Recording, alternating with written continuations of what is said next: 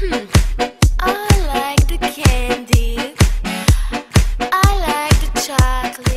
A todos nuestros lectores de la revista El Volante ya está disponible la más reciente edición, con novedades de vehículos como el Ferrari y el Mercedes-Benz CLS, tecnología para mejorar la seguridad vial, lo mejor en la Fórmula 1 y el mundo del rally en deportes internacionales. En nacionales podrás disfrutar de tuning, motocross y cuartos de mía películas clásicas al volante, curiosidades y más. Adquiérala por tan solo 25 lempiras en el establecimiento de su preferencia.